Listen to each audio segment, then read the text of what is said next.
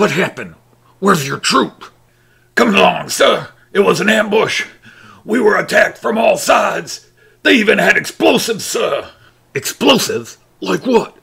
How do the Indians have explosives? Was it cannons? What? We don't know, sir. It just exploded all around us, and before we knew it hit us, a quarter of my troops were down. We got what we could and got out of there. Where's Major Sumbish? I want his report now. Major Sumbish did not return, sir. An explosion near him. He disappeared. And not all bad. Never liked him anyhow. His uncle was a pain in my posterior 20 years ago. Sergeant Pepper? Yes, General, sir. Escort Colonel ahead to the infirmary, then call General Quarter. General Quarter, sir. What about the soldiers' show tonight? My band and I have been practicing. The show will have to be canceled, Sergeant Pepper. But, sir, it's been 20 years since I taught the band to play. This was special. We need to start preparing for a full scale expedition to the Cleveland tribe lands. They've started a war, and by God, I'm going to finish it. And notify Santa Fe. I need the reserves in the troop train. Well, yes, sir. Rito'll be disappointed. And Lucy. Her dazzling diamond show was always a hit. Oh well. Corporal Shears! Billy, come here. I need you. Smokey, did you get through to Lake Albalo Miners Camp? Yes, they say they have no unusual traffic going through and that there have been no incidences along the rail lines to Denver. Interesting.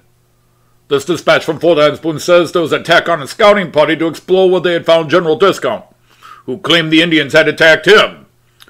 Apparently, a General All is preparing a full force. He is awaiting a military train from Santa Fe. It will be a big force he's leading out. Matt will want to know all about this, as will the mayor before they leave. Oh, and uh, hey, um, uh, Marshall and uh, uh, Smokey, like uh, I got this new message, uh, you know, from like the governor, you know, the guy in charge. Uh, you might want to show it to uh, the mayor and uh, the new sheriff. All right, thank you, Mr. Zuckerberg. Oh, and Mr. Zuckerberg, I've been meaning to ask you since I got to Big Gulch. Um, like, what do you need to know, man? Uh, you know, I uh, I have all kinds of information. Some of it's even true. I just want to know, do you even ever blink? Your eyes are creepy, sir. Oh, what? Huh? Excuse me, the message? What's it say, Marshal? Seems your friend the Reverend has friends in high places. It's an order for his release. I don't think the mayor or Sheriff Dannon, I mean Deputy Dannon, will like this. Okay, you go tell them the news. I need to go check on something else right now. I don't like this one bit, Sheriff. I mean, Deputy Dannon. I just can't get used to saying that. I don't like it either, Your Honor, but it's been checked. It comes straight from the governor himself. All right, do what you have to do. Matt, Dan, and Daisy are waiting for me, so let's make this fast. Can I get an amen, flock? All right, pipe down that nonsense, preacher man. You and most of your flock are being released. Ah, the Lord's justice has come, my flock, and we are released from this perdition among sinners. Can I get an amen? No, no, you can't, or I will rearrest you for violating our statutes again. Just get out of that cell, except for those three over there. And why are they to remain behind? We are all innocent. Because we have eyewitness accounts that they threw the torches to start the fire at the Itchy Crotch. Liars and villains still plague us, flock. I shall see to their release. As Freebians did among the Buggerites, I shall not rest until all sin is exposed and all displayed before the Lord. On the contrary, Reverend Saltine, as mayor and chief judge of this territory, I sentence you to a $100 fine, plus damages to be repaid to the filthy glass saloon and the Crotch. Oh, how the wicked tax our pockets!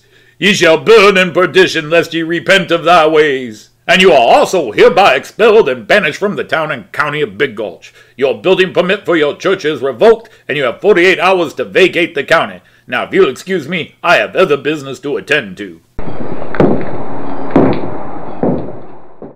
Right, preacher. That's Reverend. That's inmate 9205 if you want to stay and talk more.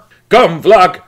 We shall leave this wicked land, as Freebie said in the Book of Lacerations, chapter 6, verses 4 to 6. Though my body aches and I find it hard to walk or sit, I shall now leave this wicked land, having seen and felt their sins, though I carry the rashes and filth upon and inside me.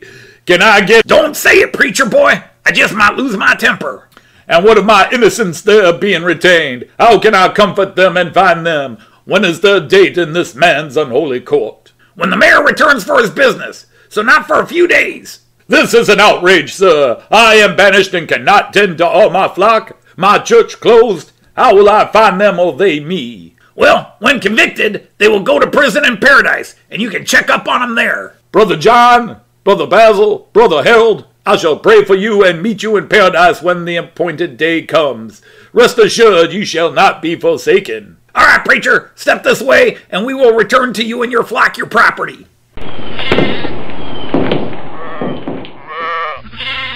Well, my brothers, looks like we are trapped like the prophet Phoebus was trapped in Plato's pleasure palace in the Book of Titillations, chapter 10. What all did you say, Brother Basil? We said, four legs good, two legs bad. Huh? What? Never mind.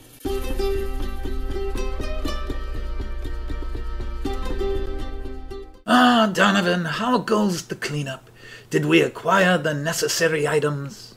Oh, yeah, Master K'hat. Quite a few weapons and several usable uniforms. Good, good. So on to the next step. I see a road, Donovan, and when I speak to the flowers, they tell me what is to come next. So now we're to head up to those tribal folks and bring some yang to them, Master? Sadly, it must be so, Donovan. Do not be too sad, for you are my sunshine Superman, and I must keep the faith in the comic wheels turning. I know, Master K'hat, but those tribal folks seem so peaceful and kind, helping us out when we started here. It all feels so unfair. Donovan, the universe does not do fair and unfair. The wheel turns and we ride until our ride comes to an end. Those who deserve achieve nirvana, and those who don't must ride again. I have ridden a long time, Donovan, and my time has come to create my own nirvana. Oh, I dig, Master K'hat, I dig. I guess the balance is always a part of the plan. Bad comes with the good. So the good must feel the bad, and the bad feels some good, right? Yes, Donovan, the balance. But end your doubts with this. The bad is the will of this wicked benefactor, and he shall be balanced soon enough.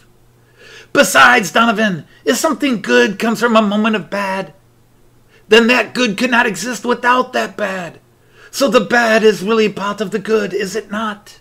Oh, wow, Master K'hat, that is so true and deep. Once again, your cosmic wisdom shines bright into the darkness of my own mind. Yeah, I dig it. I can totally dig it. My waves of glory have floated out to the sea. I feel so mellow now. Yeah, mellow yellow.